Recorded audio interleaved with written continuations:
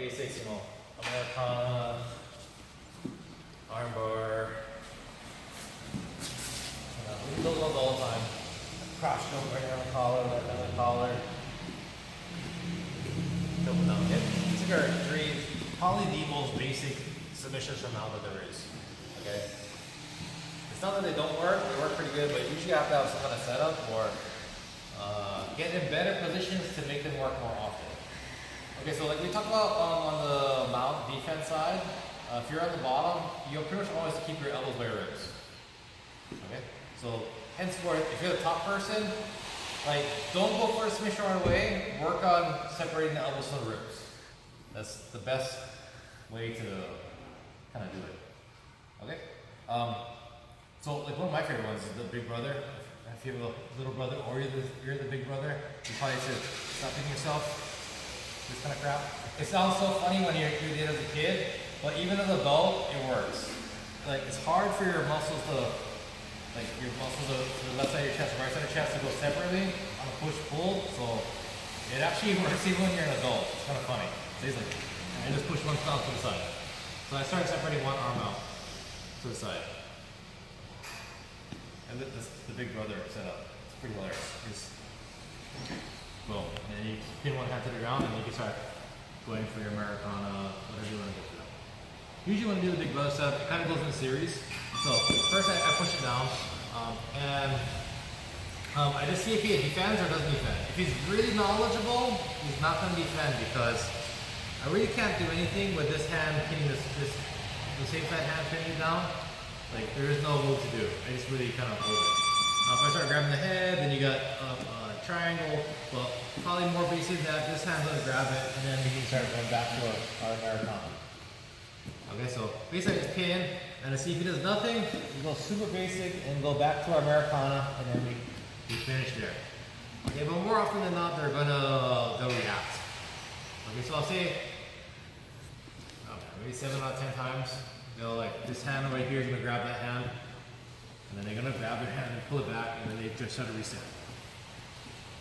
It's bottom up moving, so they're not really worried about escaping too much, just defending. So I push the hand down here, I see the hand come across. Okay, I see the hand come across, I reach under the head and I grab the top. Okay, so I just grab my gift wrap. So the big brother, push it down. He reaches for his own hand here. I get the big brother grip, uh, gift wrap grip, and then I can start going for a double attack. Okay, that's all. I can't actually, from this grip here, I can't uh, gift wrap or double attack when they're flat. Okay, so when I have reaches around here, like I can't grab the other hand. It's like impossible. So it's like how to start setting up the better grips. So if you do the big brother first, I pin my first down, he reaches across, then he turns the shoulders to the side mount, and then I can grab the top hand. From the top hand I have a gift wrap, and I can slap the other hand in here, and then we have our, our double attack. When we get our double attack on a side mount, I try to pillow the head, and I try to put my foot up. Okay? Okay, so when I'm here like this, I'm like this. Okay, I don't mind where this foot goes too much. I, I pers personally like to keep it down. a lot of people will say slide it under the foot for like S mount version, but I don't think it makes that big of a difference, really. Okay, but we get our, our double attack, and then we can start working of our uh, submissions from here. Okay. Um, once we get here, basically the two of them that are, are the most high percentages are armbar and uh, back choke. Okay, so armbar, I just have the, the double attack grip. I just go back to unlassoing the head. Okay, so here, just unlasso the head so your elbow can push the face down here.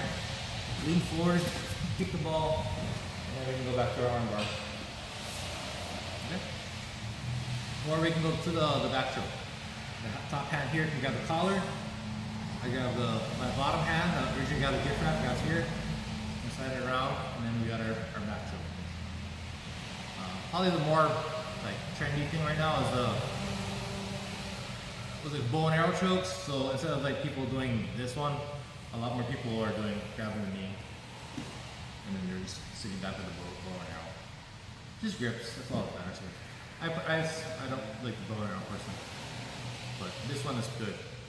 also. They both they both work, man. I think they say the nails are really high percentage. I just I defend it pretty well, so I don't like it. But this one's really hard to defend. Okay. So Big Brother, and then if you don't really uh, defend, he has Americana. So it goes back to our basic basics. Big Brother, well, if he doesn't defend, just Americana. If he does start defending, you turn your gift wrap, double attack, and we have our armbar.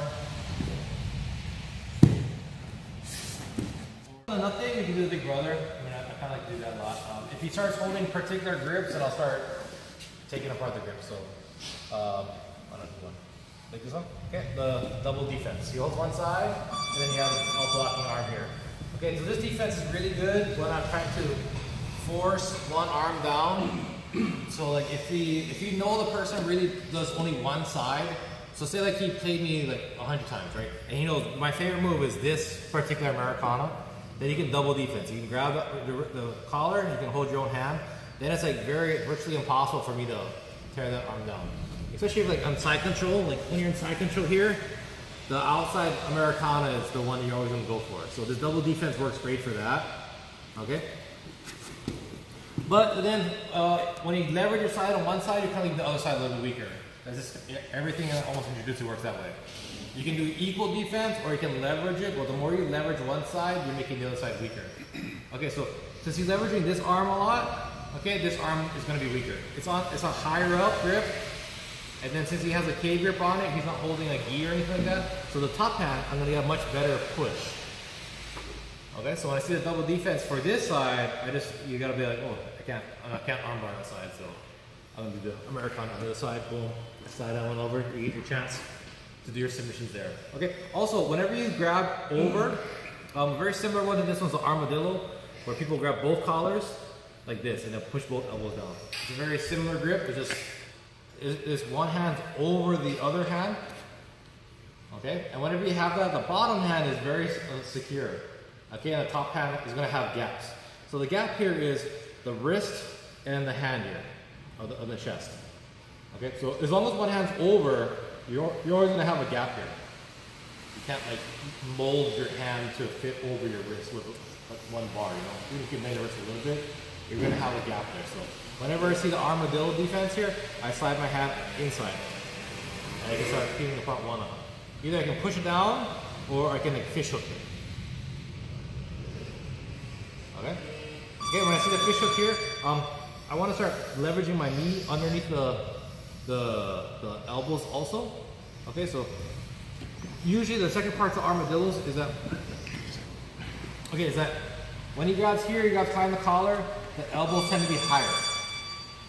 Okay, so not quite away from the ribs, but they're, they're, they're not on the ground. Okay, so when they're not on the ground, it doesn't seem like much, but I can slide my the part of my leg underneath the, the elbows. Okay, so once I start sliding my elbow, my knee under the elbow here, and then I can start sliding my arm on the side, it's gonna be hard for him to push his elbow to the ground. My, my leg is blocking it. Okay?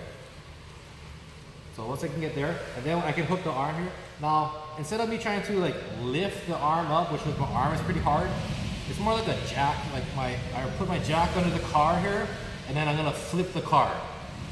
Okay, so once I get my grip here, um, I wedge as far as it's gonna go, then my leg is gonna be like a, a jack, and I'm gonna flip the, the, elbow over, so I've lean forward, and as my hips come over, I keep lifting the elbow. And I'll just keep sprawling forward. Now, I've jacked the elbow high. Now I got it away from the ribs. I gotta do this a lot because you're really strong. Okay, so I don't really actually, I'm not here with my arm trying to like lift it up. I mean, if I have a lot of arm power, I probably could do that, but it's a lot harder. But if I just wedge my leg inside of here, and I have my hand just kind of preset, um, I just like, I'll lean forward. So I, I posting it up my shoulder here, lean forward, and I keep coming forward until the elbow comes high away from the ribs. Then from here, here, the elbow, if I move my body out of the way, is like at a 90 degree angle. Now I made a lot of space. Now I'm using that, the whole principle of elbows away from the ribs to my advantage. Okay, now when my elbow's high like this, it's very easy to armbar. Okay, so Okay, so here I preset my hand grip because I don't want to fish for that later on. Okay, I sprawl forward, lift the elbow up. Once I get up, I put my knee to the ear, like we've talked about before. If you're not really flexible, this knee is gonna have to slide up, so that's our foot up. I know we're switching the order a little bit from our basic, basic class. I just did the order because it's the easiest way to teach a four-year-old how to do an armbar, okay? So I put foot up, knee to ear, and then we're gonna kick the ball. Since I already have my hand preset, I don't have to worry about making a diamond or hooking or anything like that. And then I can just lean and then kick the ball, and then I've got my arm armbar, okay? But from here, watch, if I'm here and I hook the arm, if I try to armbar with the elbow down, like you're gonna be here like this and the elbow's gonna be really in a bad spot here. And then even when I try to armbar, the elbow is probably gonna beat you to the punch and elbow to the ground. Because I didn't, I didn't lift away from the ribs. All right. So here, this is my preset grip. It doesn't even seem that dangerous when I do this. Like when you're in the mount and someone does armadillo, you just kind of do this grip here. As long as I'm not like tugging it or pushing it too much, people don't really care. They're just like, you're gonna do something with that, but I got my elbows down. Usually. Okay, I just kind of nudge them up a little bit. Almost nobody feels the fact that I put my knee underneath the elbow. Nobody really feels that too much. Okay, and then from here, preset my hand grip.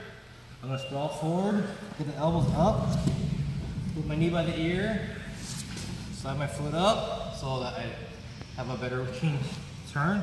If you need to adjust a little bit, you can here, but at least both elbows are high. I already have my hand preset. If you want, you can swing down and grab your collar, kick the ball, and then we can start sliding for our armbar. Okay, everybody got that? The armadillo or double defense, they kind of fall in the same categories of moves. And a lot of people do that.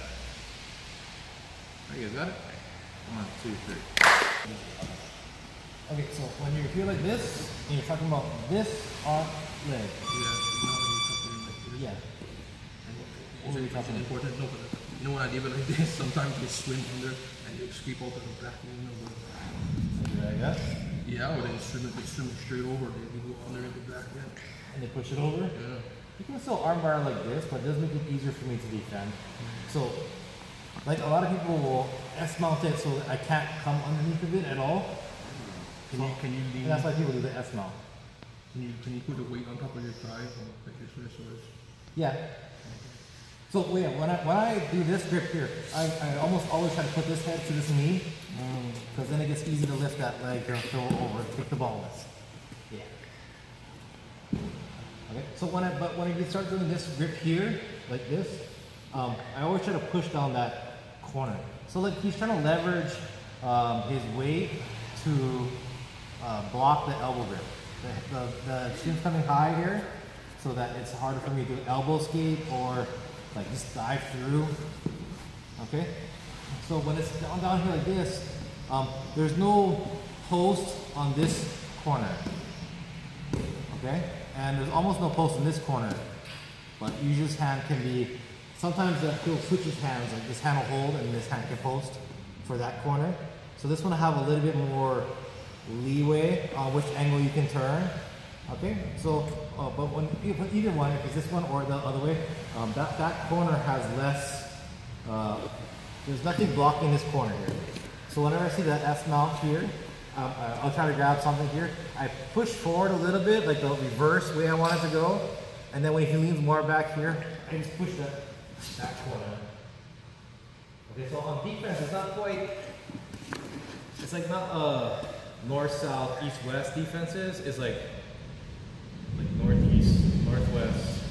southeast, southwest. It's like those the 45 degree angles. So when I'm here, like this, and I, and I, I lose this part right here, where I kind of get that, uh, well, I feel him leveraging the S mount a lot. Okay, then I, I hold on the collar or something like that, and then I, I'll bridge him to by the north side here, the corner, and then as I he feel him kind of coming back, then I just push it down and I'll fly over. Typically when you leverage so much on one side, one side's to be weaker. So, but it is good for arm barring, and not a lot of people understand how to do that. But yeah, you can ask them all day. In fact, a lot of people ask mount, but they'll they'll do mount. So when they're here like this, um, so yeah, when people do get the grip here in the arm, and they try to off you here, they try to get the foot underneath. Um, that's like one purpose of that. One another purpose is like to make everything super tight. So the hand will come underneath here and like grab your foot and it'll, they'll nudge it almost all your weight on top of your, your foot a little bit here and you can kind of like hug yourself in and it helps make everything super tight. And if you can actually leverage on your foot, it kind of makes it more uncomfortable for the bottom guy. And then from here, if I got my grip, I can just like kick them off. So some people use it to like snuggle up. Basically, they'll get the grip here, and then that foot will slide underneath, and then you can grab your foot and nudge them all together. And then you have a nice tighter grip. And then when you start going for your arm bars, everything's nice and compact. Okay, but whenever I start doing this, I don't have a post on this, this angle. So when I am here like this and I start leaning forward, if you like grab my collar a little bit, just try to like you're trying to forward roll me, I'm gonna push back and then you yeah. So it's just like everything has like pros and cons. No- Nothing's like ultimate, but it will. If people don't understand the the con of it, then it's always a plus, right? Okay, so I try that out. One, two, three. Or the chokes or the even Americana, you kind of getting into some some positions where it's if you go for the move, you can't really come back. So once you go for the arm bar, you're kind of switching the whole position. So once you go for the arm bar, it's really hard to come back from the mount if someone's really good. You know, it's like a whole different position. They call it spider nowadays. But uh, yeah. So, but I I want to make the guy do reps here. Okay, that's how you get the guys tired. So if I if, I, if I'm doing something where the elbows are high, we're doing like a little sprawl here, get the elbows up. Of course, he might be fresh and strong, so he just slams his elbows back down, and I just keep my knees underneath. Hopefully, he realize that that is a jack, and I just push him up again, and he pushes him down again. I was four, five, ten reps. You get tired, or you just mentally give up, and then he gives you the good position. So if I can do it with my legs, that's how I do it with my legs. Just, just sprawl forward. Okay? If he keeps the elbow down, like this, okay, it's a little different position. The elbows down. People hold the collars, they kill the slack out of the collars, and they keep your elbows down here. Okay, so if I want to keep on the same premise with the controlling the elbows here, um, I kind of lightly hook the head here, but I put my hand underneath the, the, the arm. So there's always going to be a gap between his elbow and his ribs, so no matter what. You can't stop that. Okay, so I just put my hand underneath here, and we do our little spider walk. I just make my hand a little spider. And he's a big strong guy, he puts his elbow down. Well, that's fine, I don't care. Just push his elbow down. But I don't really, I'm not risking anything. I'm just getting him tired. Like I don't, you don't get an extra chance to bump me off or anything like that, so. I think it's like 10, 15, 20 times until he gets tired. And then I get the arm really high again. And then we the other side. So either I to do it with my legs, if the elbows a little high, I just do it with. Just fall forward, push them down, same thing. He puts them, he realizes that's what's happening, puts them all the way down. Start sliding my hand inside, from the elbow, get the elbow a little high again. Usually when I start getting the elbow really high here, I just cup the head. Okay, you just cup the side of the head. From here, it's a little harder for him to elbow down, and I get a better control. Okay, so let's do your spider walk. double down. I prefer to do both sides. Like a lot of times, I just don't wait on one side to be good. I just get one side, start working the other side. Double down, up, elbow down, up, elbow down, up, elbow down, up. Eventually I'll get both elbows up. Okay, once I get both elbows up, I just hold my hands together. And I'll walk my knees really high here. And then I get the arm bar. Elbow super high here. Into the ear, it around, kick an arm, head, knee, and then arm bar. Okay, so either spider walk or the sprawl. That's my two big ones that I do just to do the elbows. And they probably tell me to do it to you guys many, many times. But just, there's no risk.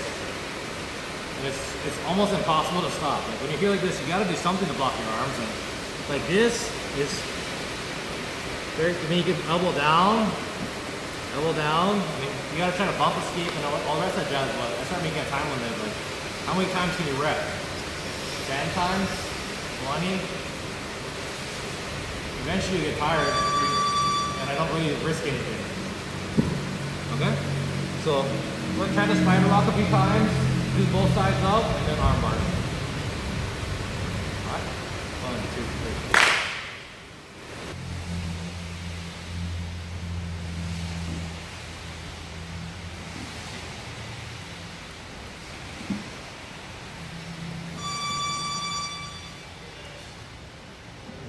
Reach the ear, and then pull your foot up.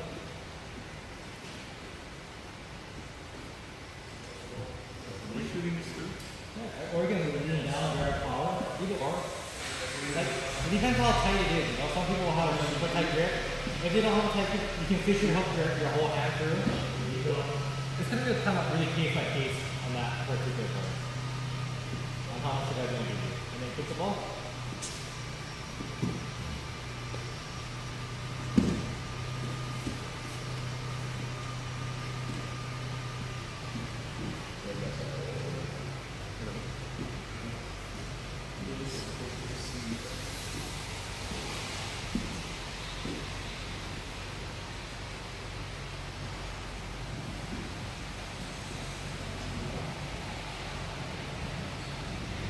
Yeah, arm it, looking at your, your, your preset grips, you gotta learn how to move your hands without that.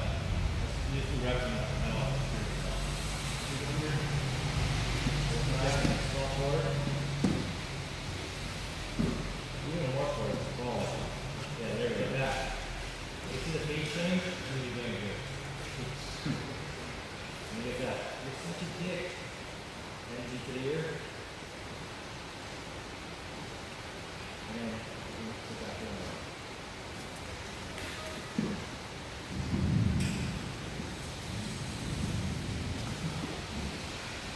Remember to kick the ball before you fall back. Like I think you're falling back to the this east. You're falling back.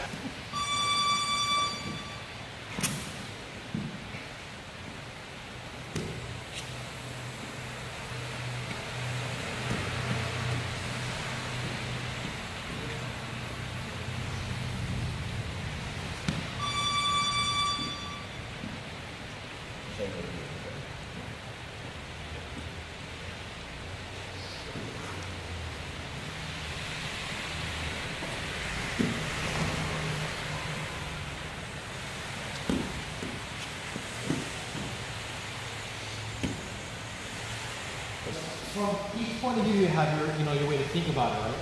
So when I hear this, I'll get my elbow down, right? But I want to try to, if I'm a bottom person, my point is I need the timer for the top guy. He's gonna try to do reps on my arms, and I gotta put a timer on him for on top. So if I'm the bottom guy here, I'm going to turn and, and get this going here, and then I change the position, right? And whatever, four or five seconds, well, that's all it takes.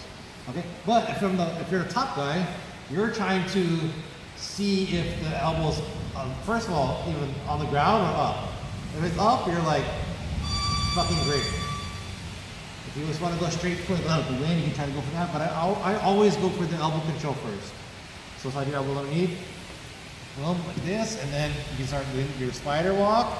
Then I can't even turn down. I can't take the side on one side. Okay, but typically when he's gonna like do this side here, okay, when he picks one side, I the other side. And I'm gonna come here, so I kind of have to like escape on the other side. Because it's hard to do both.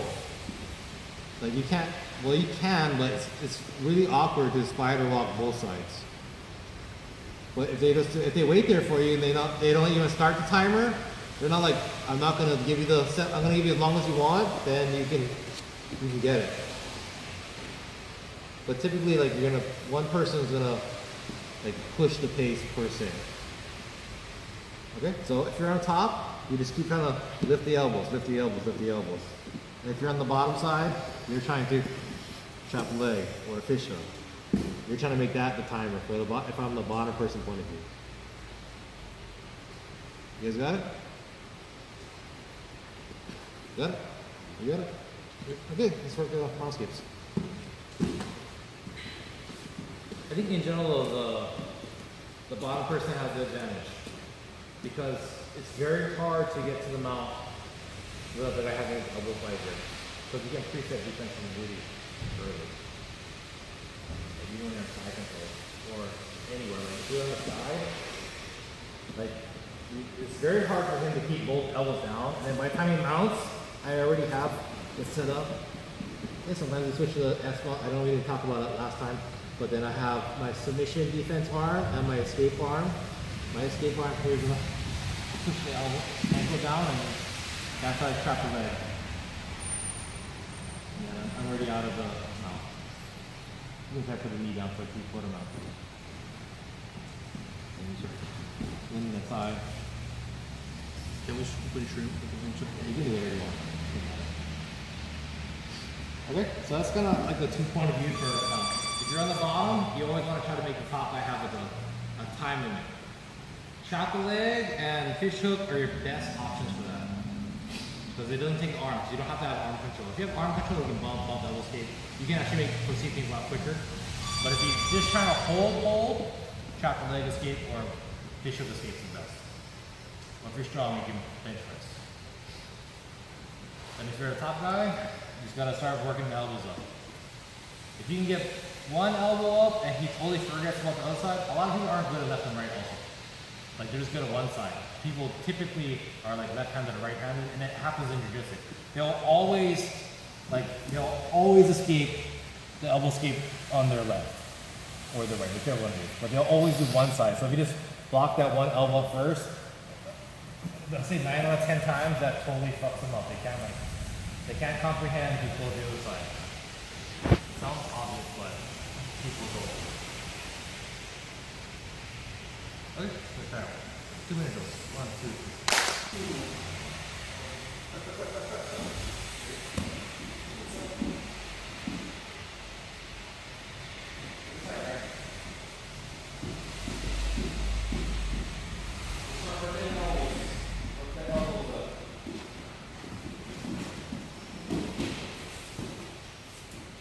The safe hand, you gotta push your ankle later in between the legs. The bottom arm. Grant. Don't push your ankle, don't underhook it.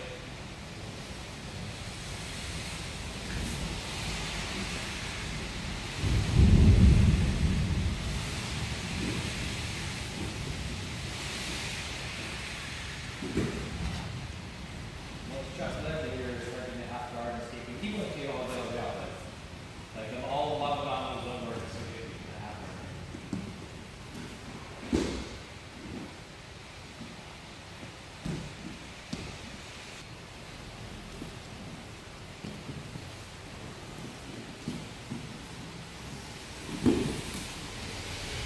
Right, bump escape, elbow escape, so yesterday's moves. Bump, elbow escape.